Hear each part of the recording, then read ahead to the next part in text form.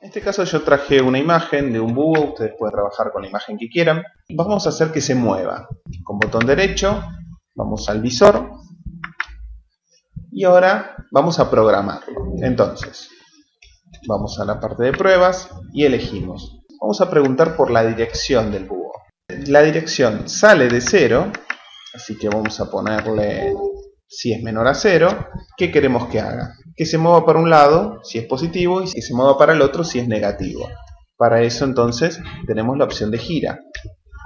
Entonces, podemos dejarlo en 5 y el otro debería estar en números negativos, o sea, menos 5. ¿Lo probamos? Tocamos en normal y ahí lo vemos.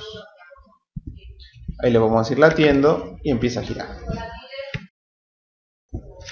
Ahora lo que queremos es que se mueva una parte de una imagen, no la imagen completa. Vamos a provisiones y con la herramienta lazo vamos a poder seleccionar ese sector. Entonces vamos despacito seleccionando qué queremos que se mueva. Yo quiero que se mueva la cabeza, así que voy a seleccionar por acá.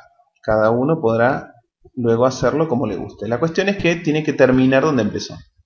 Muy bien, ahí tengo, ven, mi recorte. Yo lo voy a superponer para que no se note que son dos imágenes. Ahí está, en la misma posición. Y ahora voy a programar esta parte, ¿sí? la que acabo recién de recortar. Voy al visor y lo mismo, voy a armar una prueba. Voy a correr un poco más. La prueba me va a preguntar por la dirección. Muy bien. Y ahora vamos a hacer que gire, como hicimos recién. Entonces, gira en positivo. Y si no, que gire en negativo. Si yo quiero que gire un poco más lento, lo puedo poner en 3, en 2, ¿sí?